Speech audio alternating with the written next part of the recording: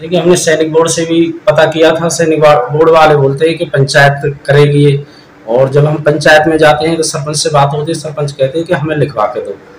अभी हमें ये मालूम नहीं पड़ रहा कि आखिर पंचायत लिखवा के कहाँ से दें, और सैनिक बोर्ड वाले बोलते हैं कि पंचायत करें तो आखिर हम किसके पास जाएँ, कहाँ गुहार लगाएँ कि हमारे पिताजी की भी मूर्ति स्थापित की जाए। कहीं जाते हैं तो सबकी शहीदों की मूर्तियाँ देखते हैं तो हमको बड़ा रोष होता है, लेकिन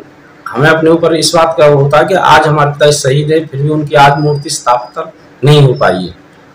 तो हम तो ये कहेंगे, सरकार हमारी हेल्प करे कि हम चाहते हैं उनकी भी कहीं मूर्ति स्थापित हो, ताकि गाँव में बच्चे, आने वाली नई पीढ़ियाँ ये देखें कि हमारे गाँव में भी कोई शहीद हुए थे, उनको कोई प्रेरणा मिले इस बात से।